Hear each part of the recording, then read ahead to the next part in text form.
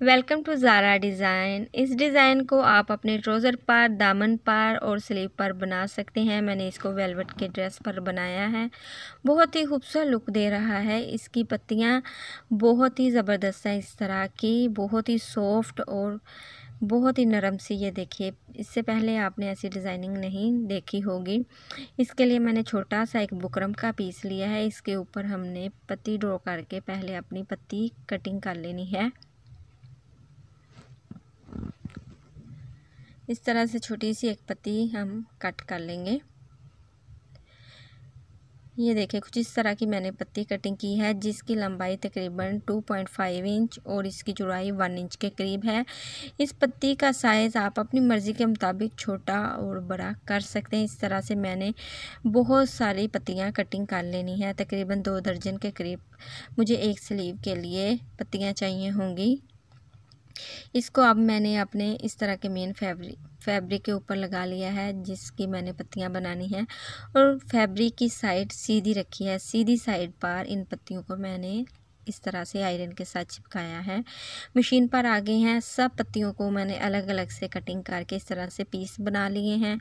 और अब मेरे पास वाइट कलर की कैन कैन नेट है, जो काफ़ी सहद किस्म की हार्ड सी ये नेट होती है, इस तरह की वाइट नेट है। इसके साथ मेरे पास ये फोमिक शीट है इस तरह की, जो कि अक्सर नलकी या बुकरम वाली दुकान से इजीली मिल जाती है ये शीट इस तरह से नीचे कैन कैन पट्टी दरमियान में फोमिक शीट और इसके ऊपर एक पत्ती इस तरह से रखनी है हमने। और अब इस पत्ती को हमने इस तरह से सारी पत्ती के ऊपर सिलाई लगा लेनी है।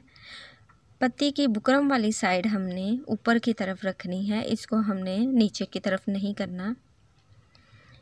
ये देखें, इस तरह से हमने सिलाई लगा लेनी है। अब ये देखें, ये इसको हमने ऊपर से पत्ती को निकाल लेना है। ये।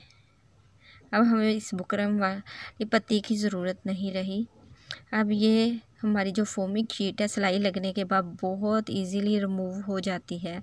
ये देखें, ये सिर्फ़ उतनी ही रिमूव होगी जो सिलाई के बाहर है, सिलाई के अंदर वाली नहीं होगी, ये देखें। अब साइड से हम इसकी कटाई कर लेंगे।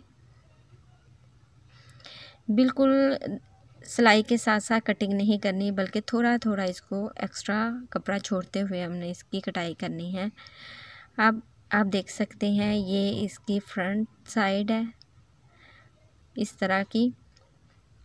और इसकी बैक साइड भी आपको दिखाती हूँ। ये देखें, ये इसकी बैक साइड इस तरह की है। आप चाहें तो कैन कैन पट्टी की जगह नीचे आरगेंजा भी लगा सकते हैं। कोई और रेशमी फैब्रिक भी लगा सकते हैं। अब एक और इसी तरह मैं पत्ती बना के आपको दिखा देती हूँ। बहुत ही न्यू डिज़ाइन है ये। इससे पहले ये नहीं बनाया गया। बहुत ही खूबसूरत लगता है। आप पत्तियों के अलावा कोई और डिज़ाइनिंग भी बना सकते हैं, कोई फ्लावर शेप में या किसी और शेप में भी डिज़ाइन कर सकते हैं। ये देखें कितने अच्छे से ये इजीली फोमिक शीट रिमूव हो जाती है। अब इसकी सेट की कटाइयाँ करके हमने ऊपर से बुकरम वाली पत्ती भी उतार देनी ये इन पत्तियों को हम दोबारा भी यूज़ कर सकते हैं। जब दूसरे स्लीव पर डिज़ाइन बनाएँगे तो यही पत्तियाँ हमारी दोबारा भी यूज़ में आ सकती हैं। ये देखें, इस तरह से ये पत्ती तैयार होगी। बाकी की सारी पत्तियाँ मैंने इसी तरह ये देखें। तकरीबन एक स्लीव के लिए दो दर्जन के करीब मैंने इस तरह से सारी पत्तियाँ तैयार कर ली हैं। अब मैंने काविया गर्म किया है और जहाँ जहाँ मैंने सिलाई लगाई थी, सिलाई तक हमने इसको इस तरह से रिमूव करते जाना है। ये रेशमी फैब्रिक है तो इस बहुत इजीली इसके धागे इस तरह से लॉक हो जाएँगे और बाहर को नहीं निकलेंगे। ये देखें, कितनी नीटनेस इसमें आ जाएगी इस तरह से। सारी पत्तियों को मैंने इसी तरह काविया कर लेना है। यहीं पर इनके धागे लॉक हो जाएँगे और बाहर को नहीं निकलेंगे इसके बाद।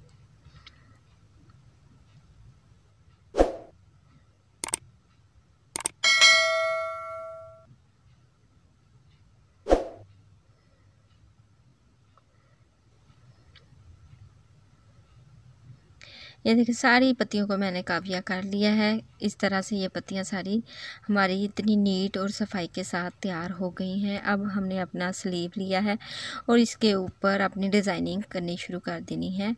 डिज़ाइन आप कोई भी बना सकते हैं। ज़रूरी नहीं है कि आप यही डिज़ाइन बनाएँ जो मैं बना रही हूँ।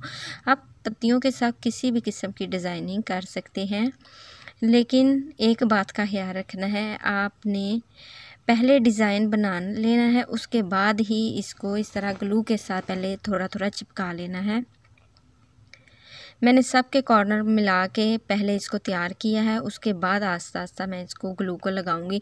एक एक पत्ती रख के अलग अलग से नहीं लगाएँगे, उससे ये होगा कि फिर पत्ती हमारी तो फैब्रिक के साथ चिपक जाएगी।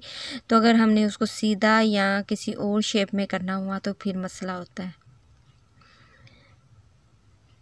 यू एच यू के साथ या ग्लू गन के साथ इसको इजीली इस तरह पहले हम कच्चा कर रहे हैं।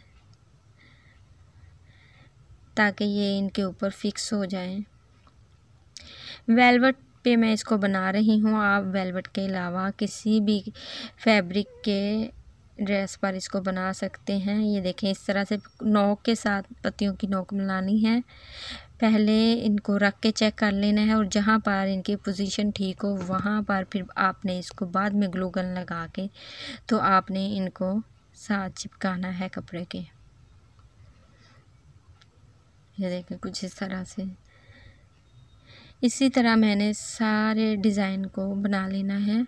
वीडियो देखते हुए आपसे रिक्वेस्ट है कि वीडियो पसंद आने की सूरत में वीडियो को लाइक और चैनल को सब्सक्राइब करना मत भूलेगा और अगर आप मेरे चैनल पर न्यू हैं तो एक बार मेरे चैनल का विज़िट ज़रूर कीजिएगा। मेरे चैनल पर बहुत सारी ज़बरदस्त वीडियोज़ हैं, जो आपके लिए काफ़ी ज़्यादा हेल्पफुल हो सकती हैं।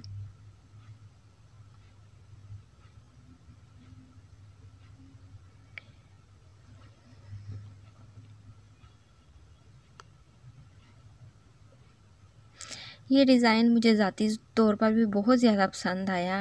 वीडियो में ये इतना ज़्यादा खूबसूरत नहीं लग रहा जितना रियल में ये खूबसूरत लगता है दिखने में। बहुत ही खूबसूरत इसकी लुक आई थी वेलवेट पर ख़ास स्पेशली इतना ज़बरदस्त लग रहा था, जब पहना तो सभी ने तारीफ़ की। अब मेरे पास इस तरह के वाइट कलर के मोती हैं तो मैं सब पर इस तरह से मोती लगा दूँगी। और मोती लगाते वक्त हर एक पत्ती की नोक पर हमने टांका लगाना है। हर नोक, एक पत्ती की नोक से हमने सुई निकालनी है, मोती डालना है, दूसरी पत्ती की नोक से बाहर निकालते हुए इसको पक्का कर लेना है, ताकि इन सारी पत्तियों की नोक पर भी अच्छे से टांके लग जाएँ। ये डिज़ाइन हमारा कुछ इस तरह से तैयार हुआ है। उम्मीद करती हूँ आपको भी मेरी तरह ये बहुत पसंद आएगा।